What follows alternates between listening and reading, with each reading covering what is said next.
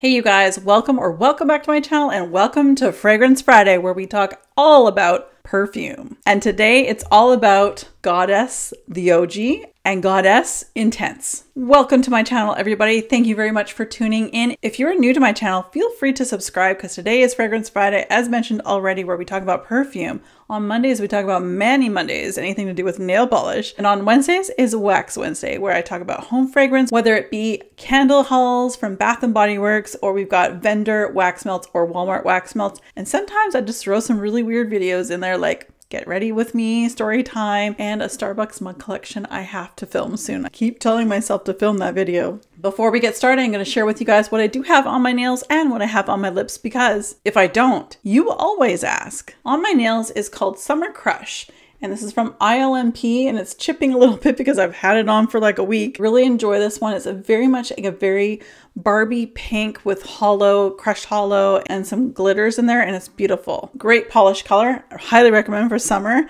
And on my lips, I have Buxom's full on lip polish in the color Dolly. So this one's got the little bit of sparkle into it, whereas the cream doesn't have sparkle. And that's what I have on my lips. Today, we are talking about the OG Burberry Goddess and the intense version that just came out. I picked this up when we were going through the States. We went through duty free and I was able to get this, and really, duty free is not that much less expensive. Let's be honest, I think I saved five bucks. Let's start with the original Goddess from Burberry. This was released in around this time, I would say closer to the end of August of 2023. I know I remember this because my husband was away on a trip in Copenhagen and he was flying back and he took a picture and he's like, Is this the thing you were talking about? I'm like, Oh my gosh, yeah.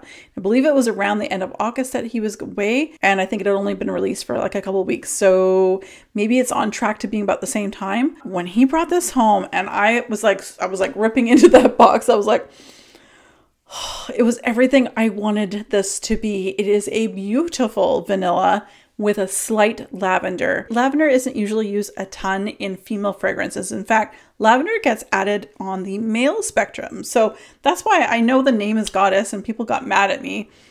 I'm, I'm all for whatever you want to wear is great, but I do feel like that both men and women would really enjoy this one.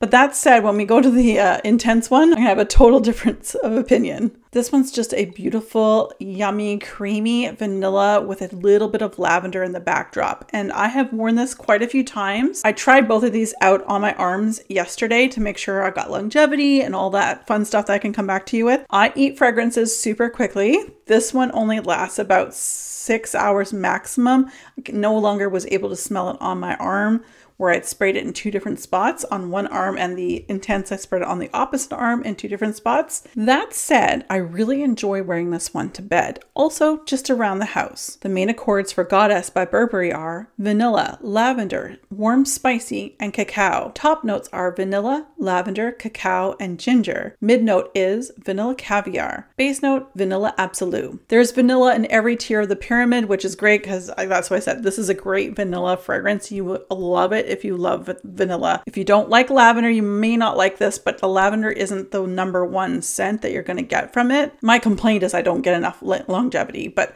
that's because it's me. A lot of people will get way more longevity out of this fragrance than I do, but that's okay. I don't mind. I know that if I go through this, I will get another bottle, no problem, because this is one of my favorites. On the other hand, we have Burberry Intense, which just came out August or late July of 2024, so about a year apart.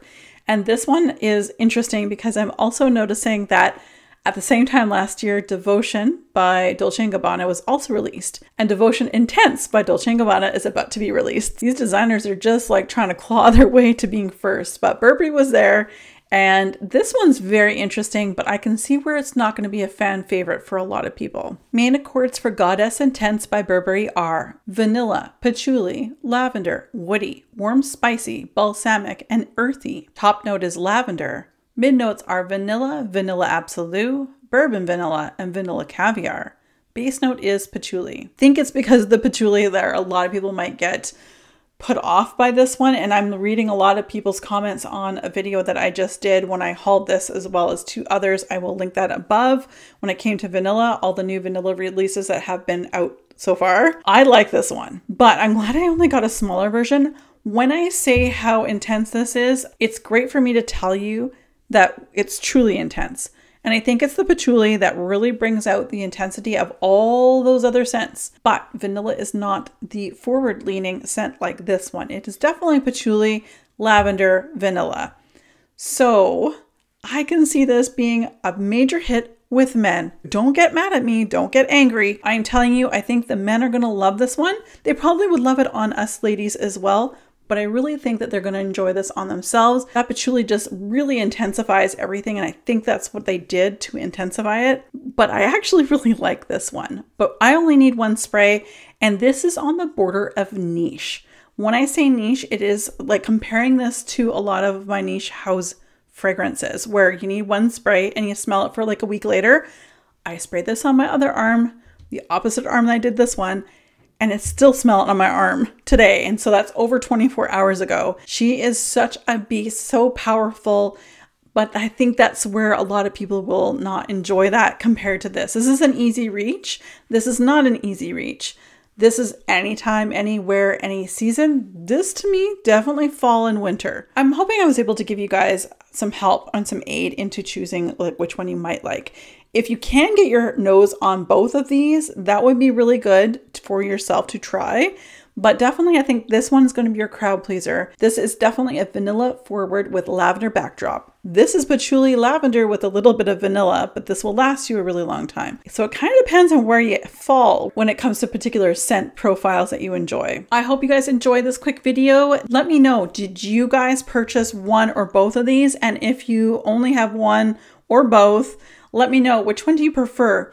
I like both of them. This is just going to get used way more. I'm Glad I got the bigger bottle than this one because I only need one spray and it's going to last me forever. Thank you guys so much for watching. As always, be safe, take care, and have fun.